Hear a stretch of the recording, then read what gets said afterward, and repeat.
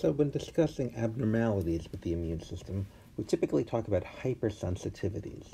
That refers to the immune system being overly sensitive to molecules that it should not be recognizing and mounting an immune response against. And we break down hypersensitivities either into allergies or allergic reactions. The immune system is sensitive to a molecule in the environment that's not really a pathogen, but it reacts against it against it, or autoimmune reactions. These are hypersensitivities. The immune system is recognizing a self molecule and reacting against against it. Uh, autoimmune disorders affect five to ten percent of the population, and this reflects a uh, an aspect of the immune system that is not perfect. Right?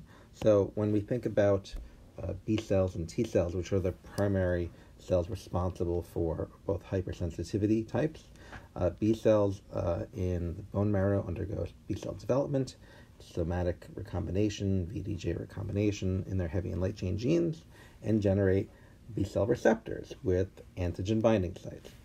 T cells undergoing T cell development in the thymus, uh, also undergoing gene rearrangement in their TCR alpha and beta genes, are generating T cell receptors with an antigen binding site. And we know that in the central lymphoid organs, that these cells undergo a process called negative selection. If they, with their antigen binding sites, interact with any self molecules that they inter, uh, that they might bind, um, they should undergo either gene re, uh, either receptor editing to change their antigen binding site, or they should undergo apoptosis. Um, so these would be self-reactive B cells or T cells. The process is not perfect. Cells cannot be shown every single human antigen in the bone marrow or in the thymus. So, um, self reactive B cells do occasionally escape from the bone marrow. Self reactive T cells do occasionally escape from the thymus.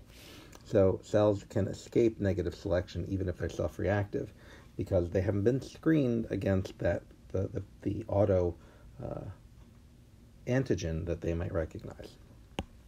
So, we talk about cells gaining central tolerance if they don't interact with self molecules in the central lymphoid organs, which is true, but you can still have self reactive cells leave because they maybe didn't weren't shown the uh, protein or other molecule that they interact with um, that they, they would bind strongly with their antigen binding site.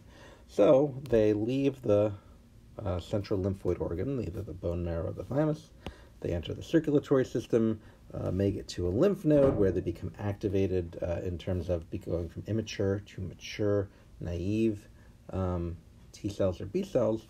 And we know along this journey they gain something called peripheral tolerance. Again, if they interact with self molecules somewhere along this journey, these cells should undergo uh, anergy, which means they become uh, they be they they're rendered um, inactive. They're not allowed to activate, or they undergo apoptosis again. So, uh, but again, cells that are self reactive might not encounter their uh, antigen in this journey as well. So, you still might have cells that are self reactive making it out of the central lymphoid organ and gaining both central tolerance and peripheral tolerance. And now these cells are going to circulate through the body, and maybe they find their way uh, and interact with their antigen sometime later. Uh, this is going to be separate from Treg cells, which we know actually do uh, bind self peptides, uh, and their job is to suppress the immune response. But we're going to focus here on autoreactive B cells and autoreactive T cells that have escaped um, negative selection. So, there are different types of hypersensitivity reactions we've talked about, either uh, when talking about allergic reactions or autoimmune reactions. Type 2 reactions refer to antibodies binding some molecule on the surface of a cell or in the extracellular matrix. When we're talking about autoimmune disorders, we're going to refer to these antibodies as autoantibodies. They bind our molecules, and we're going to refer to the molecules they bind, the self molecules, as autoantigens. So they're not from a pathogen, they are from the person.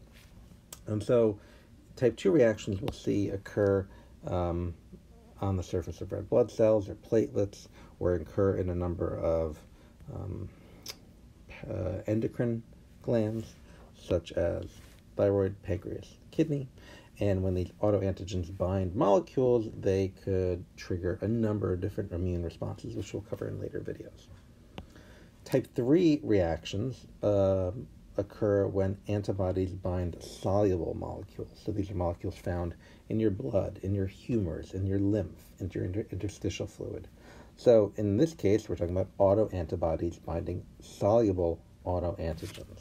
And this will affect uh, the joints in terms of arthritis and might be systemic in the case of lupus. And we'll cover those in future videos. Type 4 reactions um, primarily involve uh, T cells either inducing inflammation uh, in terms of CD4 or inducing cell killing via CD8. And we'll see these uh, when we talk about things like type 1 diabetes in the pancreas or um, uh, with muscular dystrophy, uh, damaging the nerves. So, uh, CD4 obviously is going to be involved in all types for uh, us to make uh, antibodies, usually isotype switch antibodies like IgG, that are used uh, in type 2 and type 3 reactions, obviously you're going to use CD4 cells for those. But in type, so CD4 is technically involved in all types of autoimmune reactions or hypersensitivity reactions.